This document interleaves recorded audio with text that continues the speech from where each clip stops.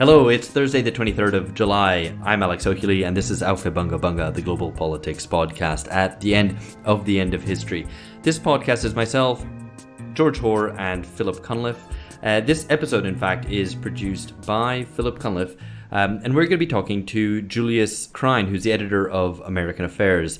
Uh, Julius, I believe, might be the first conservative, self-described conservative. Actually, we'll have to ask him that uh, that we've had on the podcast, and we're going to be talking about uh, American Affairs, the magazine he edits, as well as American conservatism, but also broaden out into things uh, Julius has written about about politics and class, about the need for political and class realignment in the U.S., uh, and then maybe finish off uh, on some discussions about U.S. decline. Excited about this?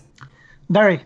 Um, not only because it's good to um, you know, speak to somebody uh, who comes from a different political perspective, but also because American Affairs has written some of the most interesting and penetrating analyses of American and global politics about the changing political economy of class in America, which is one of the themes we'll be talking to Julius about. Um, so I'm eager to meet. I'm eager to meet um, the man behind American Affairs. Yeah, and uh, definitely one of the most interesting outlets of conservative thought at the moment. I was trying to think who else uh, are conservatives or self-described conservatives that I'd always be interested in reading, and probably quite a short list. Um, Ambrose Evans Pritchard on there as well, I would say. But um, I think American Affairs, yeah, is a really interesting magazine, so it'd be good to good to speak to the man behind it. Well, I guess the interesting thing precisely about it is that it doesn't just publish self-described conservatives. Yeah. Um, in fact, many leftists, Marxists, um, have featured in there in recent uh, recent months. In fact, uh, we had uh, Angela Nagle and uh, Michael Tracey on, who uh, wrote that piece about Bernie's failure. Um, so anyway, they're publishing good stuff, and I'm also eager to talk to them. And we're going to talk to them now.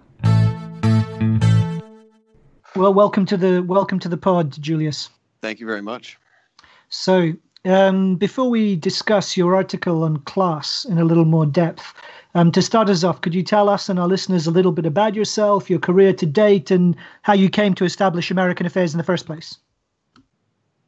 I mean, I, I prefer actually to maintain a sort of Stalinist cult of the leader, um, where my bio just gets made up uh, to fit whatever circumstances it needs to. But uh, I think it's. I've, well, what, I've, you, you, have to decide what these circumstances are then, and, and exactly. Yeah, yeah. I, have given this uh, spiel a few times, but um, American Affairs was started entirely, almost entirely by accident. Um, I was working in finance. A few of my friends, also mostly in finance, um, ended up sort of all independently, but more or less simultaneously, coming to the conclusion sometime in 2015 that Trump's primary run in the Republican Party was serious, that he had a chance to win, that he was touching on real issues, uh, and so on.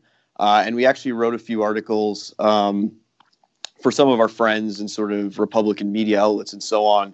And initially they published them. And then when Trump remained in the lead, they didn't want them anymore. And uh, sort of in a, you know, fit of uh, revenge, we decided we were going to start this uh, little silly little anonymous blog called the Journal of American Greatness, um, figuring that maybe a hundred of our friends would read it and that would be fun.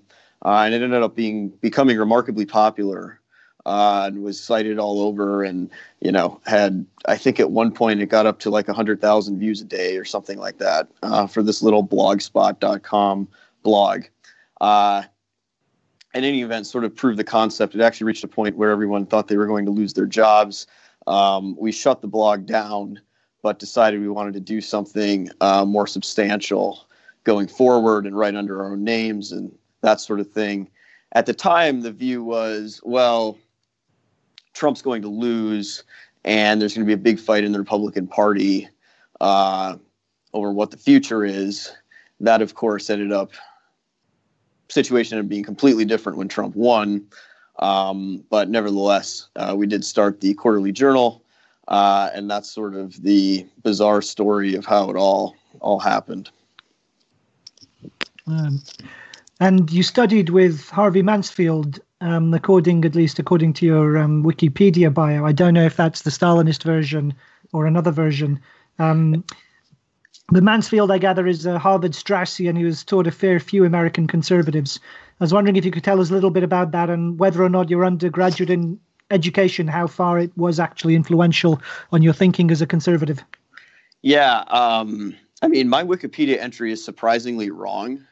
Um, but okay. but that part of it is correct. I did I did study with Harvey Mansfield, though I would actually say that my undergraduate education had a very limited impact on on my you know political you know political views as they are now. Um, I think that there's a huge bias among academics in particular to imagine that everyone's views have to be shaped by what you read and who you studied with. Uh, but for me, it was actually a combination of experiences. One, I spent some time in Afghanistan uh, as basically a subcontractor for the Department of Defense when they were trying to get investment, foreign investment into Afghanistan.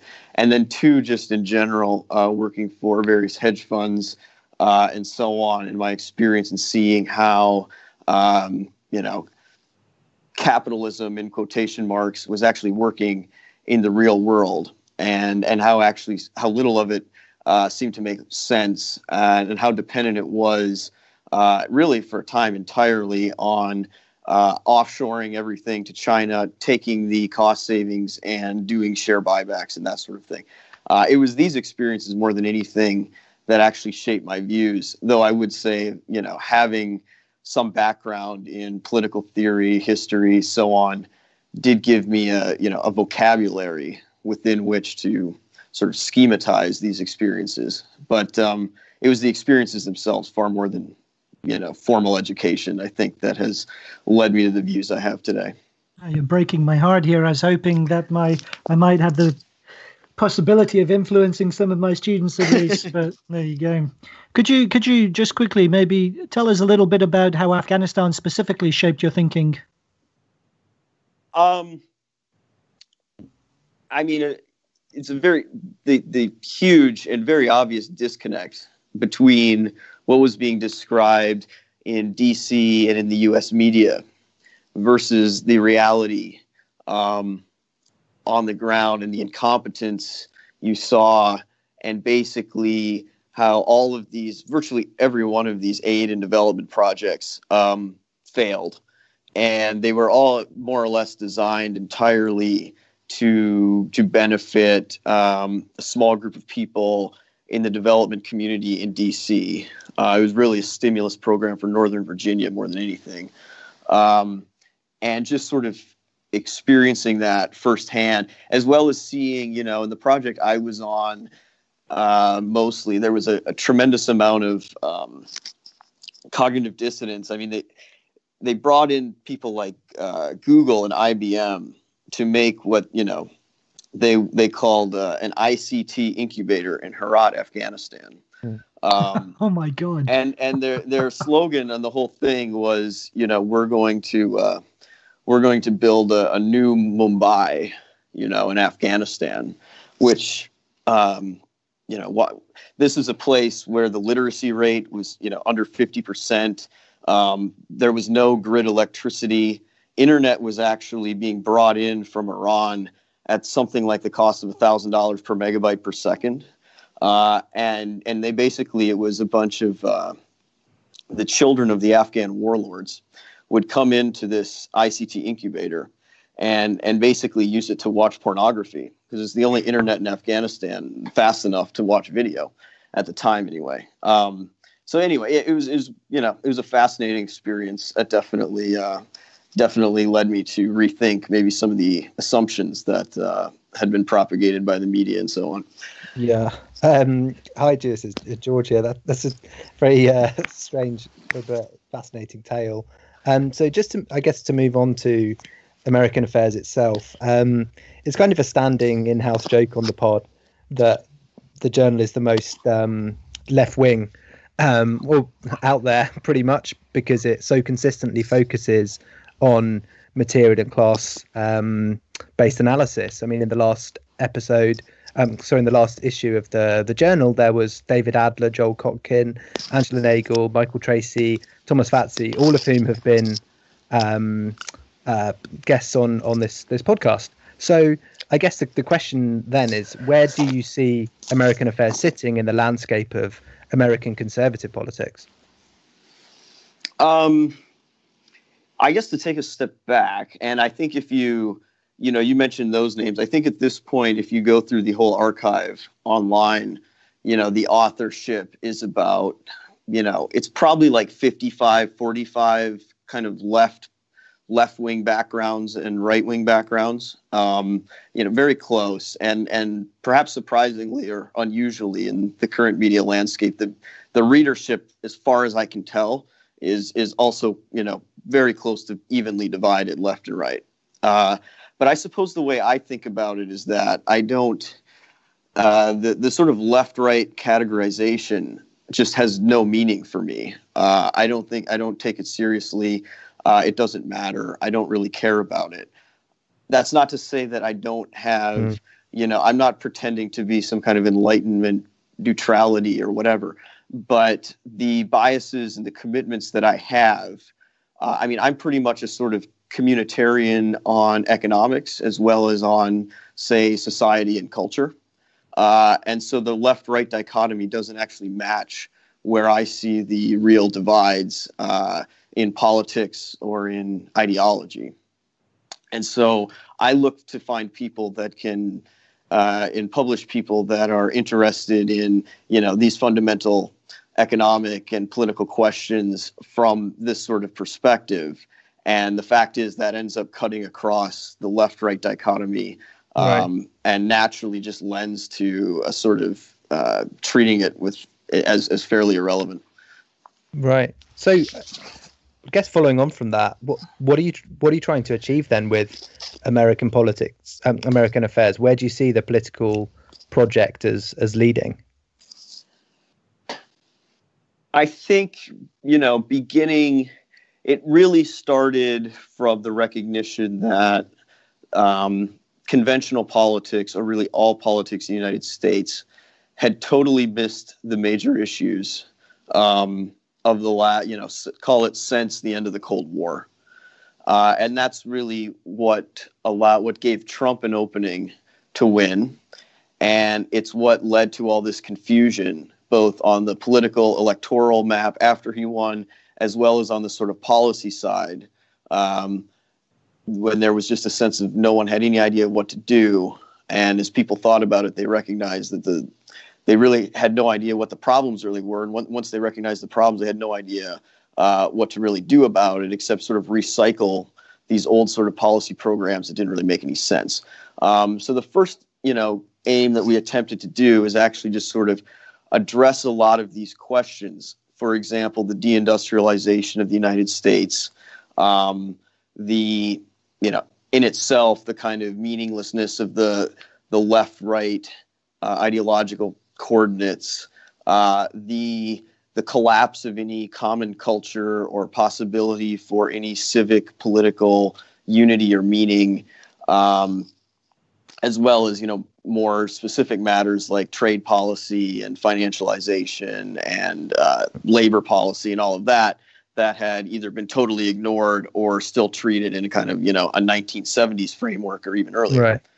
Uh, in terms of you know initially you know, I think there was um, some hope that you know it would influence the administration and that sort of thing. Um, over time, I would say it's actually gotten, you know, insofar as it has political influence, it's been uh, in a kind of diverse and eclectic group of people in the Senate and Congress, uh, and and I think it's been the most influential on some of the um, less public uh, questions that get less media attention. For example, there's a lot of stuff on you know subsidizing semiconductor manufacturing and you know mm-hmm. industrial policy and r&d and all these questions that you know don't really get a lot of airtime and don't inspire you know protests or whatever um, but which i think will ultimately be very important in terms of shaping the fundamental economic environment going forward yeah definitely so I wanted to pick up a bit more on US conservatism specifically. And you famously came out as regretting your casting your vote for Trump. So I was wondering if you could tell us a little bit about what drew you to Trumpian politics in the first place and how your thinking on Trump evolved and what prompted that shift in perspective. Yeah, I mean, what I regret most at this point is that no one has, or fewer, far fewer people have read anything else I've ever written than that one headline, um, which is quite annoying. Though I, I, you know, I stand by everything I said in that article. Um, but I mean, my my personal view is that elections are vastly the the importance of of elections is vastly overestimated. Um, and I'm far more interested in kind of the underlying material and and other other issues. So it was very easy for me to write that piece because I never cared that much about Trump to begin with. Uh, and when the New York Times asked me to do it, it was like, well, I you know I do think what he was doing in the aftermath of Charlottesville was stupid, and this is a great time to uh, mention that as well as promote some of these other things. Um, but uh, initially, I think you know my if you go back to the blog, I think there was actually always a lot of a fair amount of skepticism about Trump personally, though we thought it was it was the the general shakeup and and you know sort of challenge he was making to the status quo was a good thing, and I would stand by that. Um, there was also a sense early on some of the initial appointments, there was at least a lot of hope that you know a lot of our friends would be in the administration, and they were really interested in pursuing, you know, some of this this realignment type of project, uh, doing things outside the kind of conventional Republican policy agenda, and really focusing on industrial policy and that sort of stuff.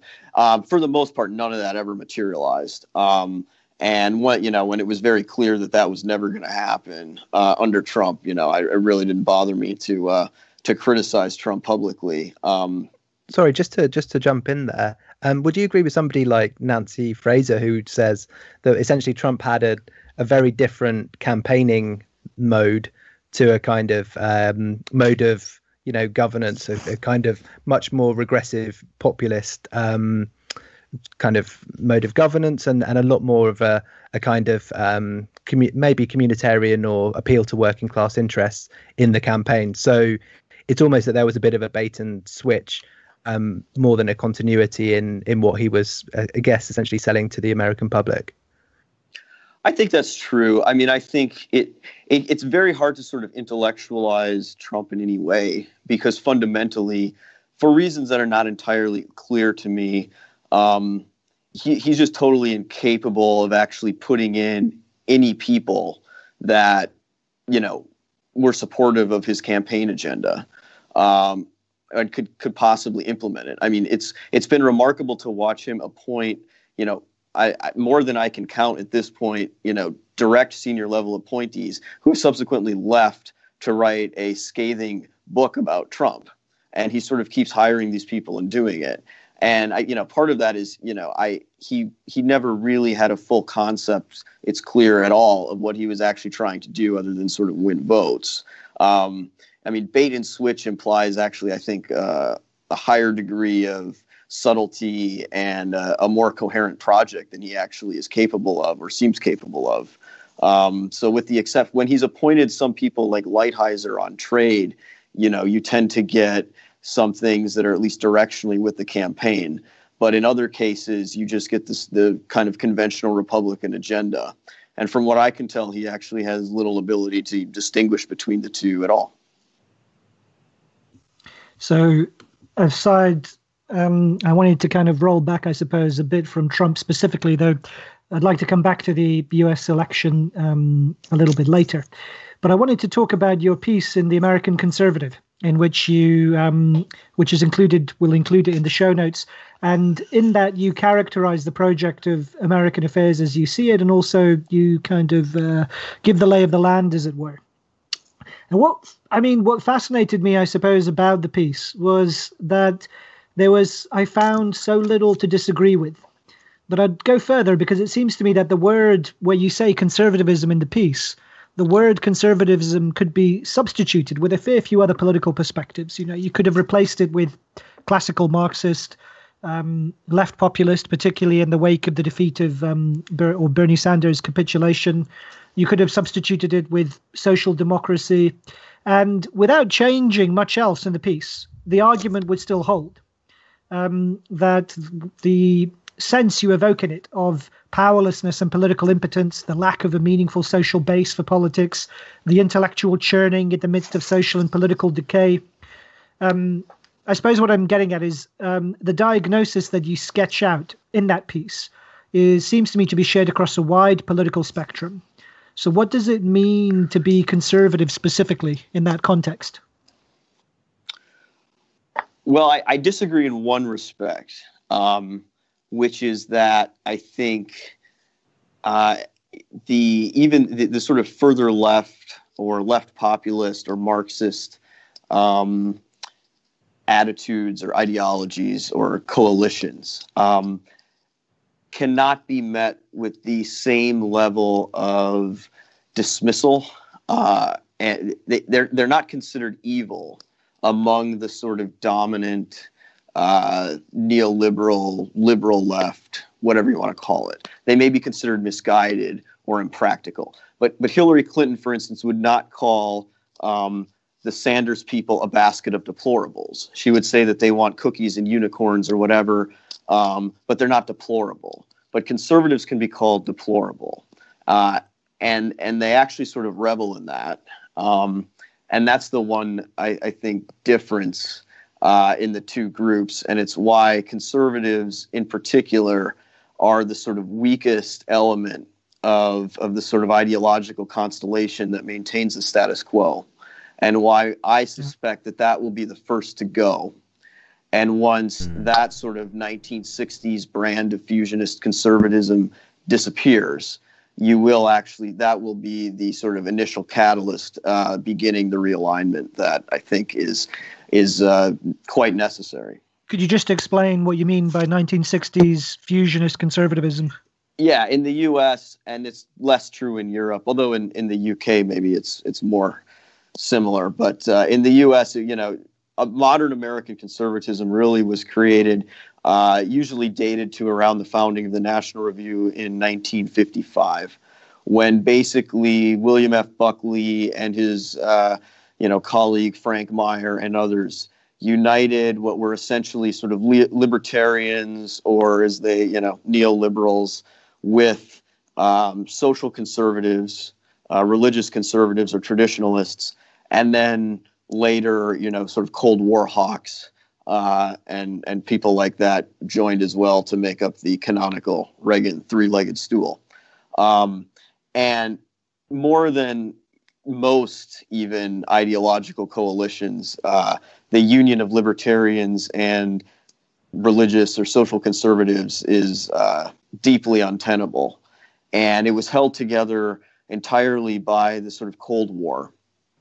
Um, and without the existence of you know communism to hold it together, uh, it ceased to make a, lot of sense. You know, from the 1990s on, and as time went on, the libertarians effectively dominated the policymaking apparatus, um, really pushing in the uh, pushing the U.S. towards you know very neoliberal uh, economic policy framework that you know has only gained momentum uh, gained momentum from the 90s through you know the 2010s or so, um, and that is you know interestingly, I would say uh, it, it maybe maybe in contrast to myth you know, in the U.S., it has been it has been kind of the right that is the driving force because, of course, after after this coalition initially gained success with Reagan, um, it was Clinton um, more than yeah. anyone who really institutionalized yeah. it, and and Obama who did more than anything to preserve it uh, through the financial crisis.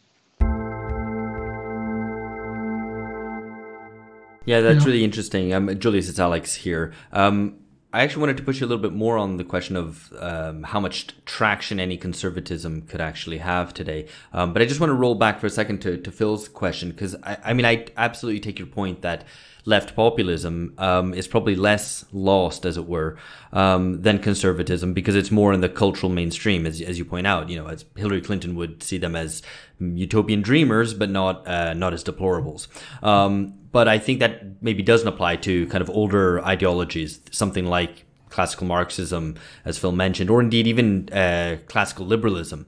Um, for all that you know, libertarians may feel that they may have some traction in contemporary society. I think uh, just the growth of, of the state and surveillance and whatever else means that a, a kind of classic liberalism wouldn't have um, wouldn't have traction. But it seems to me, I think, and this I totally agree with your analysis that conservatism um, fares even worse because um, you ask in that American conservative piece, um, you know, about conservatism, who cares?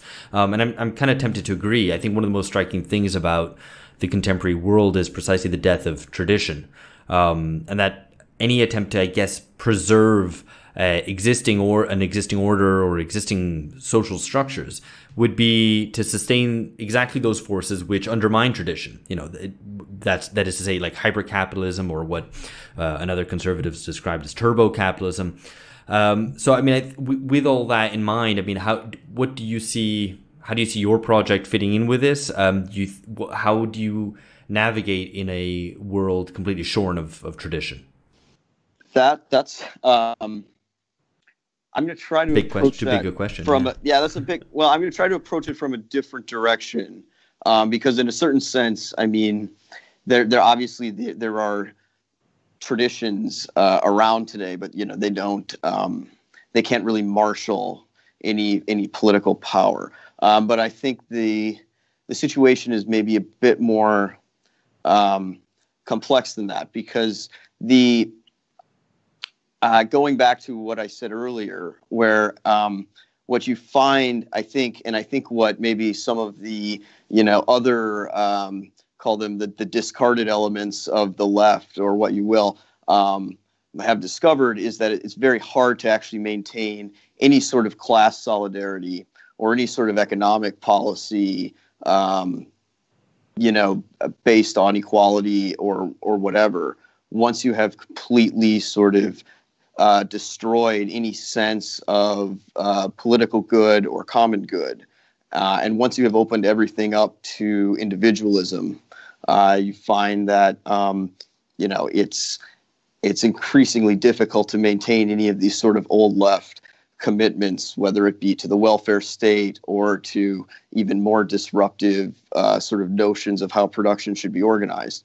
Uh, and the reality is it's not i don't know that it's so much about preserving tradition as that the the sort of radical liberal individualist project uh, it's it's not tradition that needs to be saved. It's, it's the radical liberal individualist project actually undermines itself. Um, it can't maintain any sort of uh, political cohesion. It can't maintain any sort of legitimacy um, and so on. And so it's really dealing with the inevitable um, collapse or self destruction of that that we're actually facing. And that's what makes it possible for people who would maybe consider themselves traditionalists and people who would maybe consider themselves classical leftists or or even even in some respects classical liberals uh, to sort of unite against what has become this very dehumanizing um, creation of sort of uh, the emancipation of both capital and and any sort of individual identity and and so on.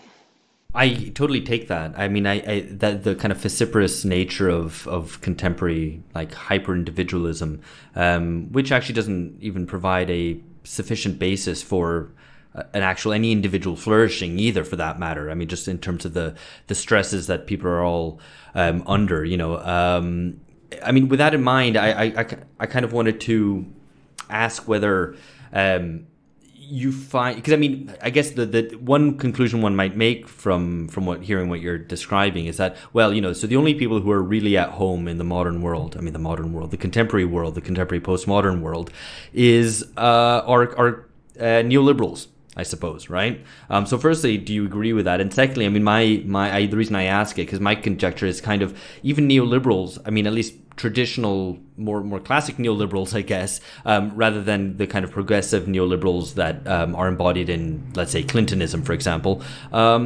Or also don't don't might not find themselves totally at home in in this world either. Um, that the appeal of that kind of rugged individualism, at least at a discursive level, also doesn't really have much purchase. In fact, people seem more um, open for ideas of protection rather than uh, you know kind of do pulling yourself up by your own bootstraps.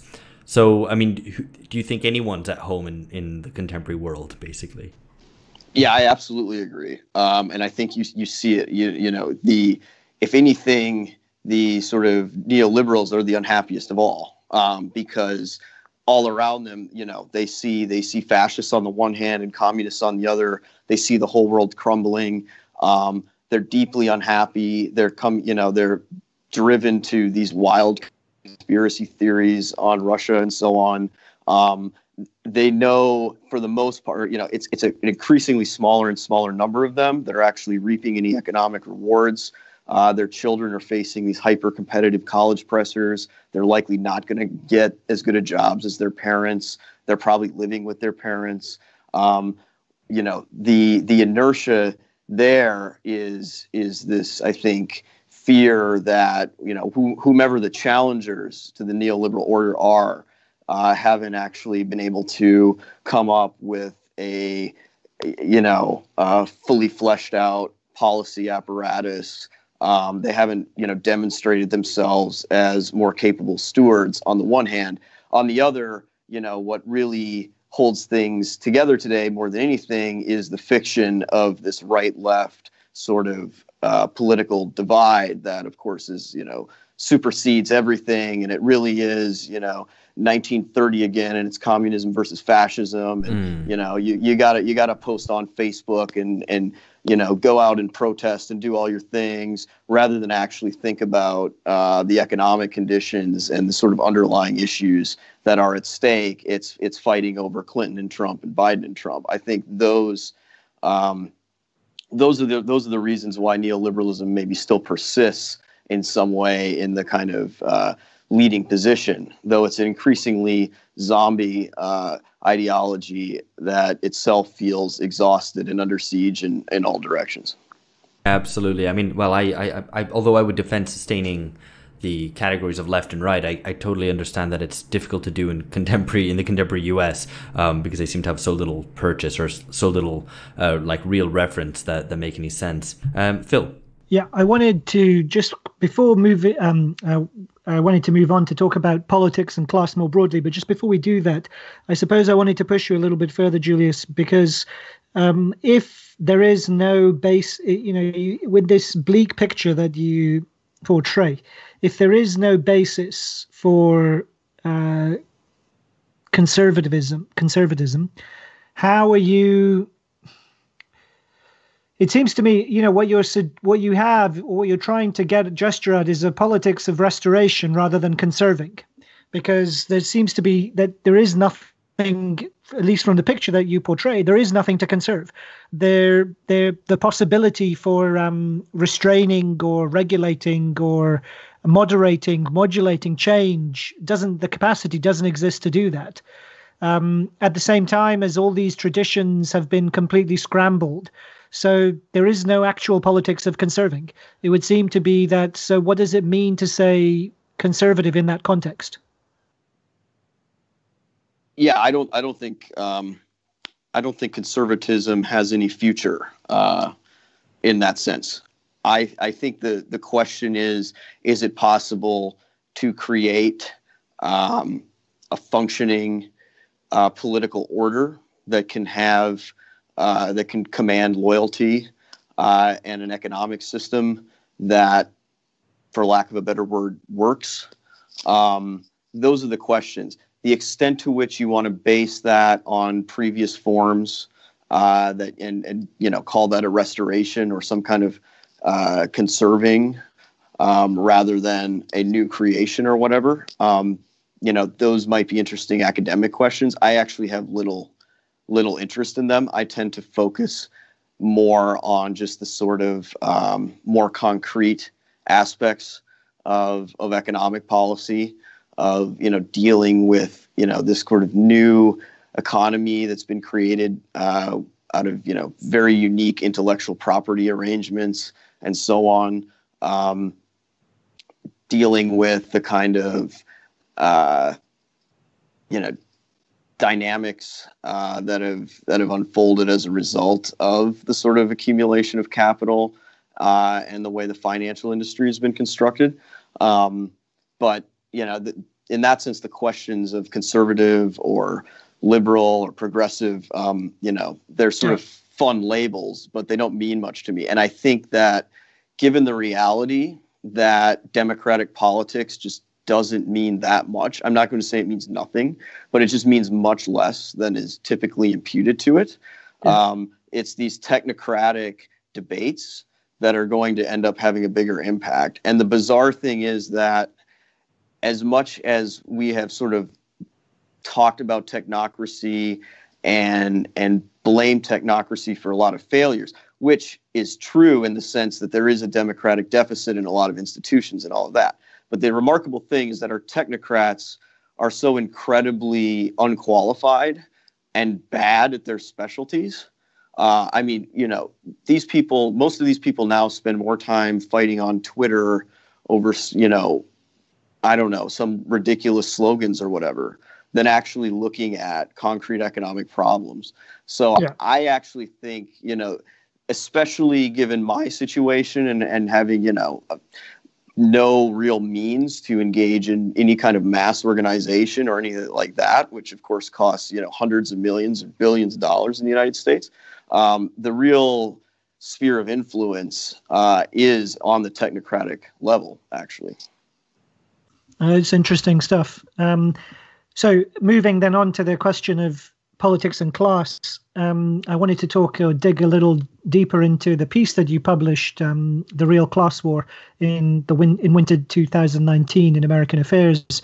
Um, and in this piece, I was particularly taken with this claim about the real dynamic of class conflict being intra-elite, um, which is to say, uh, struggles between the kind of downwardly mobile um, middle classes and the kind of plutocratic and super rich at the top, and that this was much more important dynamic of um, class conflict than a conflict between capitalists and workers.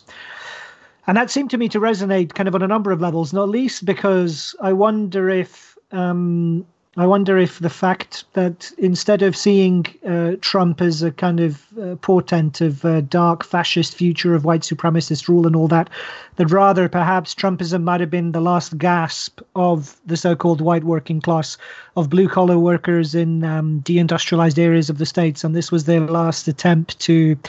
Um, kind of hold back the political system careering um, beyond anybody's control. So you know, I mean, I guess your your piece is built on the assumption that those kinds of voters were already defeated a long time ago, and that seems to me to be, um, you know, that seems to me to be essentially true. So I was wondering if, anyway, if you could explain the thesis a little more to us that you develop in that piece. Yeah, I I would actually I, we get to the same conclusion, um, but I actually look at it in a somewhat different way. I think that you know. Um, the that sort of Midwest uh, industrial or deindustrialized working class is, has probably been, you know, the sort of uh, worst hit um, or and, and, first hit uh, group. Um, but the the overall decline of the United States, uh, economic decline, decline in other ways, deindustrialization, all of that, these have, as indeed the piece describes, actually touched on multiple facets of society, including um, large portions of, of the elite, or at least what is usually considered the elite. And I think what you actually saw with Trump um, is more a case in which you know the the the way that the political system has been dominated by donors and so on has actually prevented any serious addressing of these issues, um, you know, for 20 plus years. And Trump is basically, you know, given his weird individual circumstances and what, you know, some might say sociopathic tendencies, his ability to just totally ignore this entire social signaling device that has constrained, you know, political discourse in, into some kind of neoliberal box. Yeah. Um, is what allowed him to actually address these questions. And it's not so much that, you know, he never actually articulated much in the way of solutions, but he was the first and for a long time the only one who would who would very straightforwardly say, you know, his one of his best lines is, you know, they used to make cars in Michigan and you couldn't drink the water in Mexico. Now they make cars in Mexico you can't drink the water in Michigan.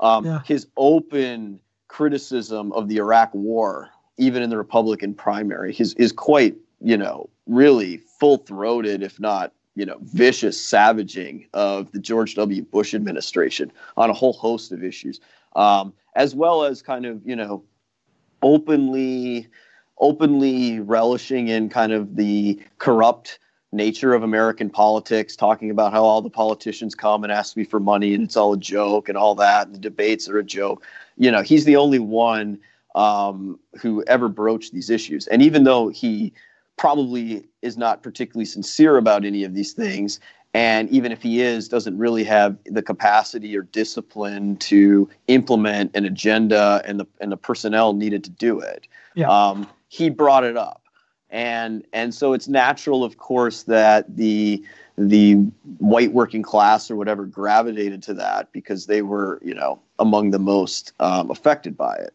But in general, I, I think it, it's not so much that you know he set off on this uh, this, this kind of conventional um, political consultant demographic split up the demography kind of situation. I think it's more just a question of all of these issues were out there and no one addressed them. And interestingly, I mean, you know, on a more optimistic note, you know, you're seeing now Biden has he's made industrial policy a big part of his campaign. He has a whole Buy American program. The Republicans in the Senate picked up on this, you know, several years ago. At least some of them did. Um, these issues were there for a long time. It's just he was the first one willing to talk about it. Yeah. Mm. Yeah. So yeah, I guess if if Trump is a an illustrative figure in in regard to, I guess, the relationship of working class to mainstream politics. Um, what about Elizabeth Warren? Because you you cite her as an emblematic character for the drift of the middle classes to the left. Could you explain a little bit more as to how you think her um, trajectory embodies this this shift of this group? Yeah, I mean, I don't have much to add beyond what I said in the article, but I mean, her personal history is is at this point very typical of people in her class where you know in the in the 80s or whatever she's a republican you know professional lawyer all of that. Um, yeah. and then you know she left the republican party i believe in the bush administration uh, the the second bush administration citing a sort of um, you know i think kind of more, the, the sort of rhetorical stridency of it, as well as its kind of commitment to extremely shrill libertarian economics. Um, and then, uh, you know, as time has gone on, she's moved, you know, I think further and further left on economic questions relating to financial regulation, redistribution, um, antitrust, uh, and a whole host of other issues. And uh, yeah, I, I, think, you know, as I say in the article, I mean, the interesting part of the whole thing is that the kind of, you know, I don't want to say like the lower tier of the elites because it's actually pretty high up. I would say it's somewhere between kind of the 1 and 10% have actually faced, you know, flattening incomes plus uh, rapidly rising expenses on the things they care about most, namely housing and education. Uh, I, I, think weaker job security, on a lot of things.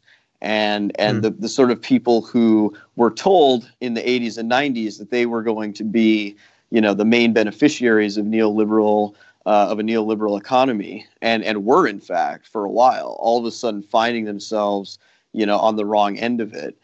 Uh, and especially because they still have you know unlike the working class they still do have some agency in the political system uh, you know, I think the impact of that is is perhaps you know more significant and and maybe the most significant um, driving force behind a change in politics. Which is not to say, of course, that the billionaires don't matter or anything like that, but it's that kind of uh, you know lower elite tier that is the sort of fulcrum or the the main the the part of it that's undergoing the biggest shift.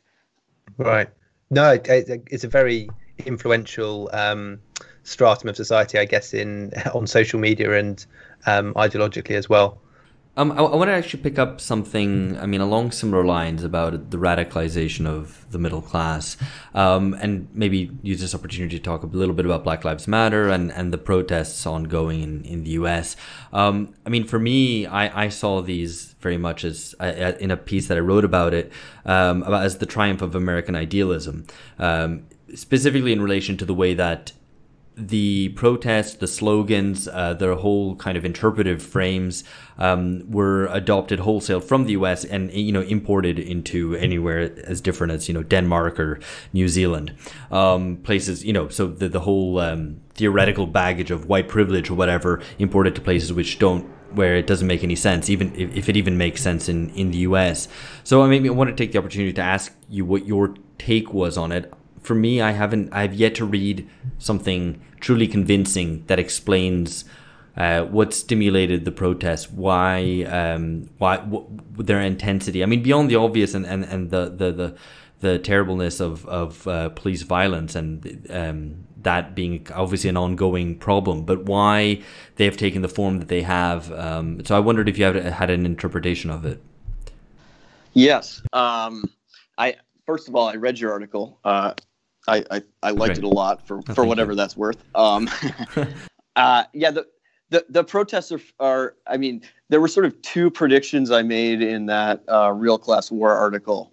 Um, the first one was that Bernie would lose because you know his support only went to like a actually a fairly small stratum of kind of underemployed uh, college graduates and that sort of thing, and um, there was a lot of a lot of people didn't like that, but it, it ended up proving to be right? Uh, and the second thing, uh, you know, I sort of said is that you know that these kind of this class would be the most radical.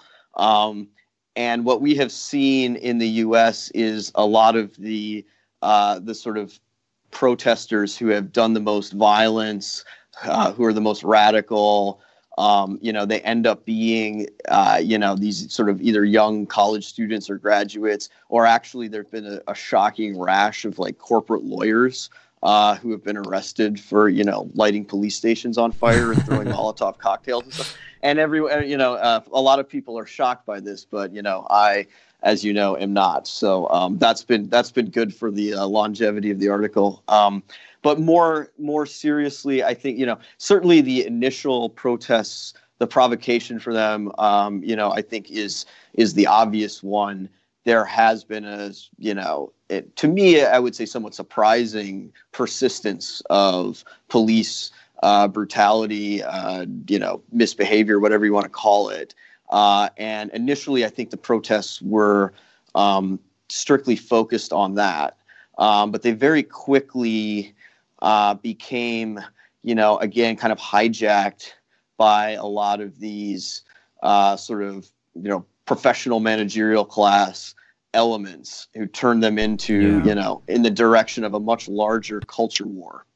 And, Absolutely, and also yeah. one that where you see in a lot of cases like the defund the police stuff ends up um, you know meaning turning things over to consultants uh, to design new programs or you know hiring social workers particularly you know sort of university educated social workers rather than kind of you know uh, more working or middle class police stuff like that um, you know i think that that phenomenon is not fully known yet but you know it seems to definitely be going in a very predictable direction what i mm. thought was most i mean initially I mean, I think if we're going to be very sort of realistic about this and, and maybe materialistic about it, um, the real antagonism in these protests is actually between what you might call, for lack of a better word, the far left, um, or maybe kind of a, a, proletarian left of one kind or another, with the sort of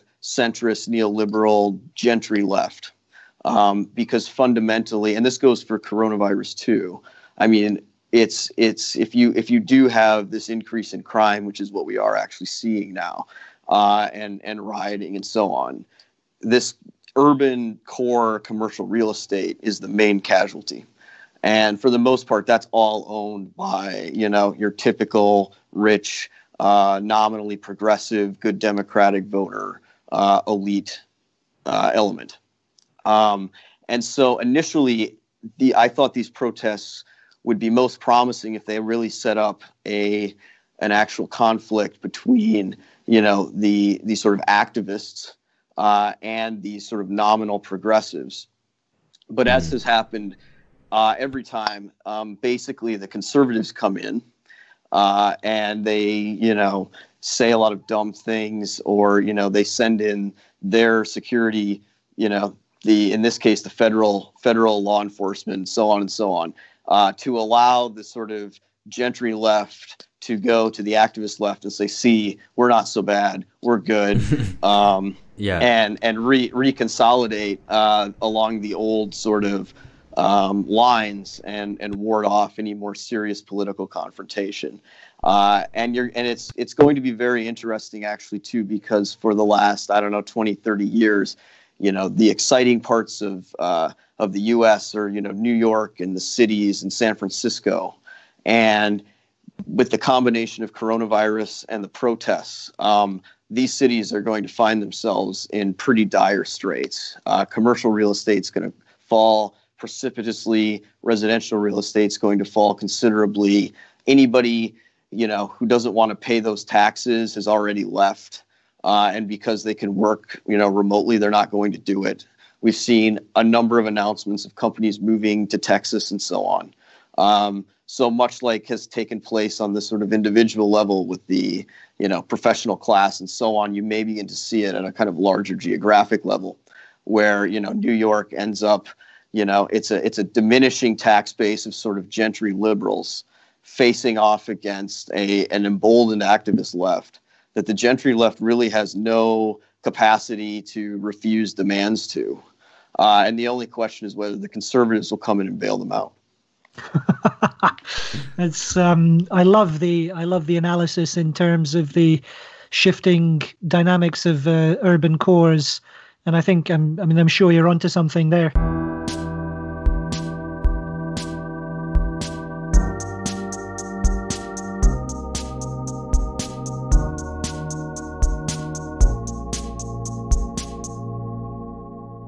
There's a slightly different um, i think there's a slightly different dynamic to what explains the particular intensity of blm here in the uk or at least i mean it's uh, my my view my perspective on it which is how far it's shaped by the politics of brexit and how far it's shaped by the um, defeat, effectively, of the professional middle classes that they endured over Brexit and then the election of the Tory government in 2019, and that this is uh, an expression essentially of their political anger and frustration and impotence is taken out on inanimate objects.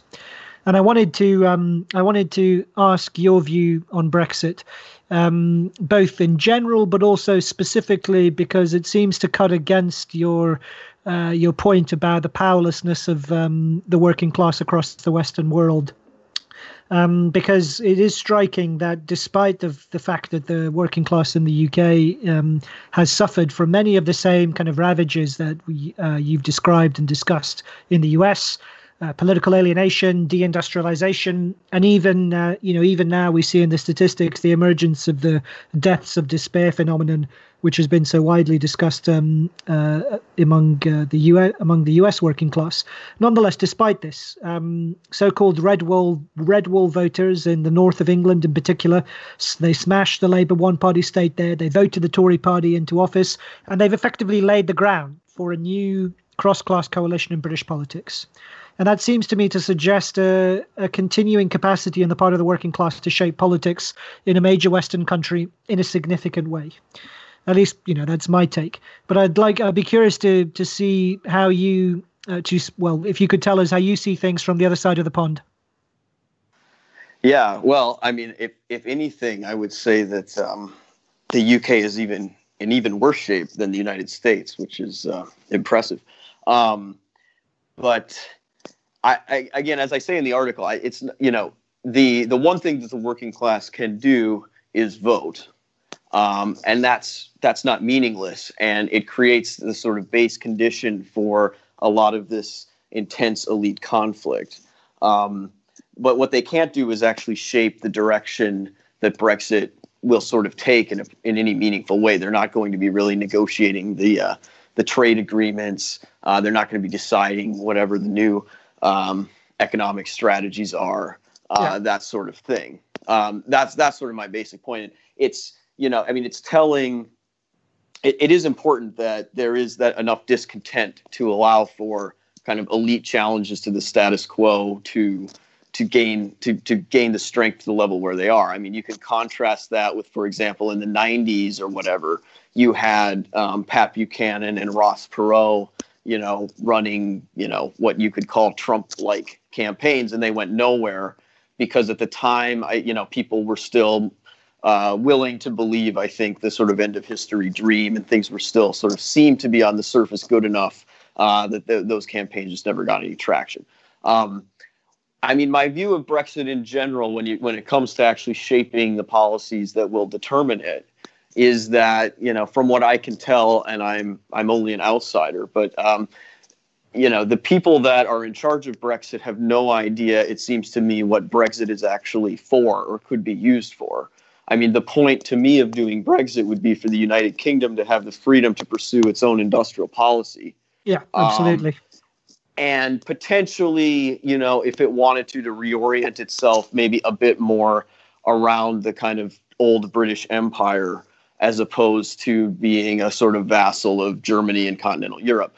But uh, that that second one is probably a uh, you know a can only follow from the first one. And for the most part, the Tory party in the UK, uh, at least the parts of it that I'm aware of, don't seem particularly interested in or capable of understanding what it takes uh, to do that sort of industrial policy that Brexit makes possible. Yeah. And then, of course, the you know elements of the Labour Party and the left in Britain uh, do, um, but of course, for cultural and other reasons, they are hesitant about Brexit, or at least they were, and, and now seem to be just totally disorganized. Yeah, no, it's it's. a. I think it's a highly accurate reading, um, and it's between that kind of it's the breakdown between those two forces that mean the political system is so sclerotic and unable to kind of resolve the uh, both unable to seize the opportunities of Brexit, like you say, but also unable to resolve the actual problems confronting it directly. Um, so, to uh, I guess to draw us towards our final set of um, questions we wanted to talk with you about is they're specifically on U.S. decline, and I know Alex has a question here about the Republican Party, so I'll turn over to him. Yeah, I mean, I, I really enjoyed some of the lines, uh, Julius, that you put in uh, your writing about, uh, you know, kind of withering critiques of the Republican Party, its donor base. Um, I, I, mean, I, I, love the one that you say that, you know, they, they're just too, that the most of the donor base for the Republicans is just too dumb to realize that, that the Democrats provide a better image laundering service. Um, actually, so much, in fact, I think we included that, we, we quoted that in the end of the end of history book uh, that, uh, that should be coming out soon. Um, how do you see the Republican Party evolving in, in that light? Because I mean, you, it, not only is it kind of plutocratic, but it's kind of a particularly decrepit plutocratic sort of uh, um, sort of structure, um, but wedded to it kind of some kind of working class or you know provincial petty bourgeois support. Um, so you know, like for example, Bannon talks about making it a working class party, which um, I, I, mean, I personally don't buy. Um, what do you, what do you, how do you see its its evolution going? Especially because, um, unlike in Europe, I mean, the American party system is so wedded to to the state, it's not going to uh, kind of decline of its own accord because, um, yeah, I mean, it's it's so institutionalized, I guess, in the, in the way that it works. So, yeah, what next for the Republican Party? Which is a question we've never really asked on this podcast. So. Yeah. Um, well, uh, I wish I wish I knew the answer for you. Um, I, I think in general, you know, the Republican Party there's there's two sets of donors. Some of them are just never going to change, um, and you know, that's they have funded irrelevant, you know, vastly overfunded but totally irrelevant institutions for years, and they will continue to do so. Um, there's and, and by the way neither of these sets actually wants to make it a working class party. Uh, and and i don't you know steve bannon uh, is another one a sort of the guy at the end of the bar who says something interesting from time to time but at the end of the day he has no idea how to do anything. Um, and you know um, but the other set of, of Republican donors is actually uh, they're they're more motivated either by sort of religious issues um, or kind of uh, what you might call nationalism, and in particular in this context, competition with China. And they actually do recognize the decline. And even if they don't particularly like a lot of the you know, sort of uh, left wing kind of economic analysis and that sort of thing. They are very interested in sort of industrial policy and technological policy, and even shoring up uh, the weaker end of the labor force uh, as a matter of competing with China. So, my guess is actually the way the future looks. Um, is something where you, you don't have any grand compromises and no one you know wakes up one day and just says you know oh, american affairs was right about everything. We're just going to do that.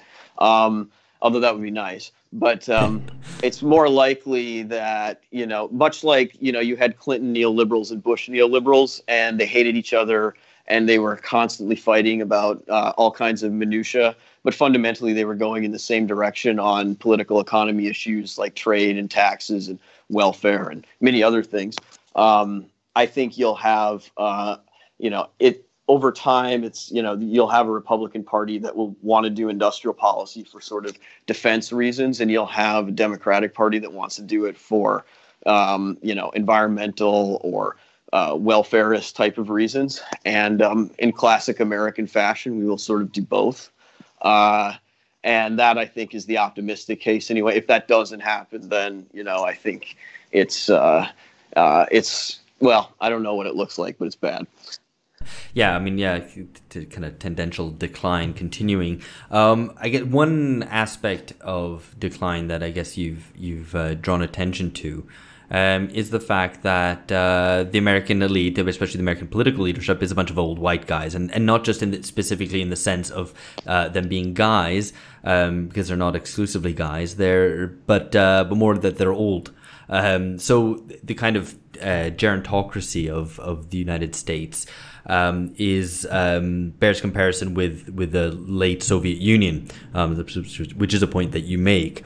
Um, I think, as you put it, you know, most of the U.S. leadership is too old to drive on a busy highway, and yet are obviously entrusted with the reins of the state. Um, it's actually funny because I shared that article a little uh, a little while ago, a few when it, when it came out, um, and someone re- tried to rebut it by by going, "Oh, well, this is just another piece attacking old people," which obviously is a misreading of of the article, but it obviously spoke to a certain sensitivity um, about the kind of well, effectively about the cult of youth today, um, and that that cult of youth often manifests itself as you know kind of uh, sneering at older generations and old people as, as people who just kind of should shove off and get out of the way, you know, kind of the okay boomer meme and whatnot. Um, so my the, the thing I'm trying to tussle with, and maybe you can you know help us out with this, is how do you mediate between the fact of a gerontocracy and the overweening contemporary cult of youth at the same time, which uh, predominates uh, contemporary culture? Yeah. Um, well, in this case, that's fairly simple because the uh, the baby boomers are the ones most obsessed with the cult of youth. Um, they just can't admit that they're old. Um, but I started noticing the generational divide actually shortly, you know, when I started American Affairs and actually started going around talking to different groups about politics. And I never actually thought generational sort of uh, classifications were, you know, meaningful in any important way. But increasingly, it became clear that um, you know regardless of the background of the person I was talking to, you know, were they Democrat, Republican, right, left, um, you know, income, race, whatever, uh, age ended up being often the biggest predictor of whether we could have a good conversation or not. And even if we didn't agree on, you know, policies or whatever, we typically, you know, with people under, I don't know, 45, 50, whatever you want to call it, um, there was a, you know, a sense of what the major problems were. Uh, but once you got into older, you know, demographics, like it, was just impossible to have like a meaningful conversation.